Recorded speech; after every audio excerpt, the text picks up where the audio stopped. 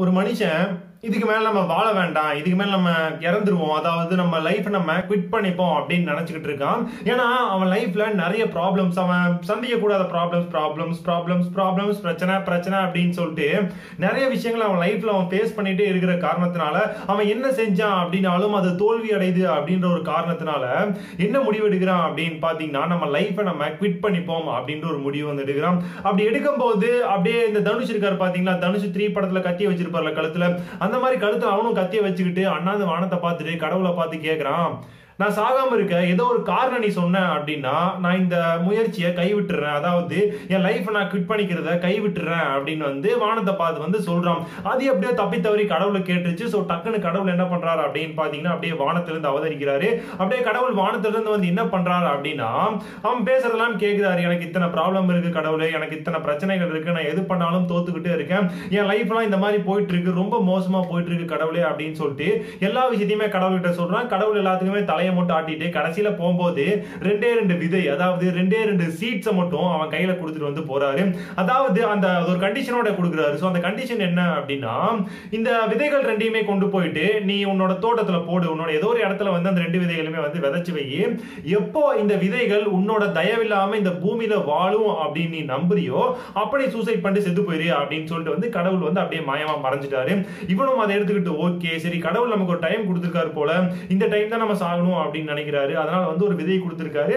So கடவுள் சொல்லிட்டாரு அதுக்காக நம்ம இந்த வேலையை வந்து செய்வோம் அப்படின்ட்டு அந்த ரெண்டு விதையும் எடுத்துட்டு போய் என்ன பண்றான்னா ஒரு இடத்துல நட்டு வைக்கிறான். அப்படி நட்டு வச்சுட்டு தினமும் அதுக்கு தண்ணி ஊத்துறான் தினமும் அதுக்கு உரம் போடுறான் எல்லாமே கரெக்டா வந்து செஞ்சுக்கிட்டே இருக்கான். அப்படி செஞ்சுட்டு இருக்கும் போது ஒரு விதை என்ன ஆச்சு அப்படின்னு பாத்தீங்கன்னா டக்குன்னு வந்து முளைச்சிருச்சு.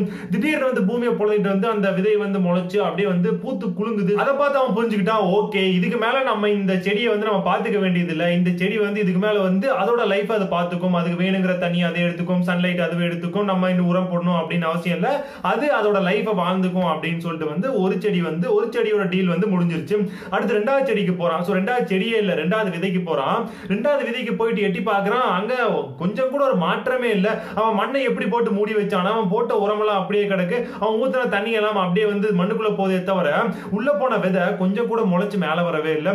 கடவுள் கொடுத்த விதை எப்படி ஃபெயிலியர் ஆகும்? ஸோ கடவுள் சொல்லியிருக்காரு அதை அது தன்னோட லைஃப் தன்னோட காலிலேயே அதை நிக்கிற வரைக்குமே அந்த விதையை நீ எடுக்கக்கூடாது அப்படின்ற மாதிரி எல்லாம் கண்டிஷன்ஸ் எல்லாம் நிறைய போட்டு அனுப்பின ஒரு காரணத்தினால இவன் என்ன பண்றான்னு பாத்தீங்கன்னா அந்த விதையை வந்து பார்த்துக்கிட்டே இருக்கான். தினமும் தினமும் வந்து பார்க்கறான். அதுக்கு என்னென்ன செய்யணுமோ அதெல்லாம் வந்து செஞ்சுக்கிட்டே இருக்கான். ஆனா ஒரு சின்ன டெவலப்மெண்ட் கூட இல்ல. நாட்கள் மாசங்கள் ஆகுது மாசங்கள் வருஷங்கள் ஆகுது. கிட்டத்தட்ட மூணுல இருந்து நாலு வருஷம் மேல ஆயிருச்சு. அப்போ கூட அந்த விதை பெரிய லெவல்ல வளரவே இல்லை. அந்த விதையை நட்ட இடத்துல ஒரு சின்ன செடி கூட முளைக்கல. அவனுக்கு வந்து ரொம்ப கஷ்டமா போயிருச்சு. கடவுள் கொடுத்த விதையே நம்மளுக்கு செயல்படல அப்படின்னா நம்ம எவ்வளவு பெரிய ஒரு துர்தஷ்டசாலி அப்படின்னு சொல்லிட்டு வந்து அவனுக்கே வந்து அவன் மேல வந்து ஒரு வெறுப்பு. அதாவது எல்லாமே வேஸ்ட் தான் போல. எல்லாமே நமக்கு ஃபெயிலியர் தான் போல. இப்போ அந்த அவனுக்கு வந்த கோவத்தில் என்ன பண்றான் அப்படின்னு பாத்தீங்கன்னா டக்குன்னு ஒரு இது எடுத்து மண்வெட்டி எடுத்து சும்மா தோண்ட ஆரம்பிக்கிறான். பயங்கரமா தோன்றான். மேல இருந்த மண்ணையெல்லாம் வந்து தோன்றான். அப்படி தோண்டும் போது திடீர்னு ஷாக் ஆகுறான். அவன் பார்க்க கூடாது ஏதோ ஒரு விஷயத்த வந்து உள்ள பாத்துறான். அப்படியே லைட்டா இன்னும் கொஞ்சம் பறைக்கும் போது அவனுக்கு என்ன தெரியுது அப்படின்னா அந்த இடத்துல ஏதோ ஒரு வேர் இருக்கிறது வந்து அவன் உணர்றான். அதாவது நிறைய வேருங்க வந்து அப்படி அப்படியே வந்து படந்துகிட்டு இருக்கு. அப்படின்ற விஷயத்த வந்து அவன் உணர்ந்துகிட்டே இருக்கான். அதே மாதிரி கொஞ்சம் தோன்றதை ஸ்டாப் பண்ணிட்டு மது மெதுவா கையால மட்டும் விலைக்கு விலைக்கு பாக்குறான் அங்க நிறைய வேர்கள் வந்து உருவாயிருக்கு. இன்னும் கொஞ்சம் நல்லா கிளீன் பண்ணிட்டு அதை பார்க்கும்போது அந்த விதையில் இருந்து நிறைய வேர்கள் உருவாயிருக்கிறது வந்து அவனுக்கு தெரியுது. இதை பார்த்த உடனே அவனுக்கு சரியான ஷாக்கு என்னடா இது? கடவுள் கொடுத்த விதை மேல முளைச்சு வராம அது பாட்டுல கீழே முளைச்சு போயிட்டு இருக்கு அப்படின்னு சொல்லிட்டு வந்து ஷாக் ஆகிறான். அப்படி ஷாக் ஆயிட்டு என்ன பண்றான்னு பாத்தீங்கன்னா ஓ கடவுள் ஏதோ ஒரு பிளானோட தான் இது நம்மளுக்கு கொடுத்துருக்காரு அப்படின்னு சொல்லிட்டு மறுபடியும் அதை மூடி வச்சிடறான். மூடி வச்சுட்டு இன்னும் சில மாசங்கள்ல என்ன ஆகுது அப்படின்னா அந்த இடத்துல இருந்து ஒரு சின்ன செடி வந்து வளருது. அந்த செடி அவன் நினைச்சு கூட பார்க்க முடியாத அளவுக்கு வேகத்துல பயங்கரமா வளருது. ஸோ சம ஸ்பீடு அதாவது அந்த மண்ணுக்கு அந்த மண்ணுக்கு மேல தலையை காட்டும் போது மட்டும் மெதுவா வந்துட்டு இருந்துச்சு. அந்த மண்ணுக்கு மேல வந்த உடனே அது சம ஸ்பீட்ல வந்து வளர ஆரம்பிச்சிச்சு ஒரு பெரிய மரமாவே வந்து ஆயிருச்சு. அப்பதான் அவன் ஒரு விஷயத்தை யோசிக்கிறான். இப்போ அவனோட தாட்ஸ் எல்லாம் வந்து எந்த மாதிரி மாறிடுச்சு அப்படின்னா சாகணும் அப்படின்னு நினைச்சிட்டு இருந்தவன் அந்த செடிகளை பார்த்த உடனே யோசிக்கிறான். என்ன யோசிக்கிறான் அப்படின்னா கடவுள் நம்ம கிட்ட ஒரு விஷயத்த சொல்லாம சொல்லியிருக்காரு. அது என்னன்னா ஒரு சிலர் என்ன பண்ணுவாங்க அப்படின்னா லைஃப்ல சீக்கிரமா வளர்ந்துருவாங்க. ஆனா ஒரு சிலர் எப்படி வளருவாங்க அப்படின்னு பாத்தீங்கன்னா இந்த ரெண்டாவது வித மாதிரி ரொம்ப மெதுவாக தான் வளருவாங்க. அவங்க வளர வந்து ரொம்ப டைம் எடுத்துக்கும். ஆனா அவங்க வளரல அப்படிங்கிறதுக்காக அவங்க போடுற முயற்சிகள் எல்லாம் வீண் அப்படின்னு அவசியம் இல்லை. அவங்க அவங்க போடுற ஹார்ட் ஒர்க் ஆகட்டும் இல்ல அவங்க படுற கஷ்டங்கள் ஆகட்டும் அதெல்லாம் எந்த வகையிலுமே தப்பா போயிடாது எந்த வகையிலுமே அது வேஸ்ட் கிடையாது அப்படின்ற விஷயத்த அந்த ரெண்டாவது வித மூலமா புரிஞ்சுக்கிட்டான். எப்படி புரிஞ்சுக்கிட்டான் அப்படின்னா அவன் போட்ட ஊரமாகட்டும் இல்ல அவன் பண்ண வர்க்கு அதுக்காக நிறைய வேலையெல்லாம் செஞ்சுட்டு இருந்தான்ல. அந்த பேஸ்மெண்ட் அப்படின்னு சொல்லுவோம் பாத்தீங்களா? அந்த பேஸ்மெண்ட் அந்த ரூட்ஸை வளர்த்துக்கிட்டு தான் இருக்கு அப்படின்ற விஷயத்த அவன் நல்லா புரிஞ்சுக்கிட்டான்.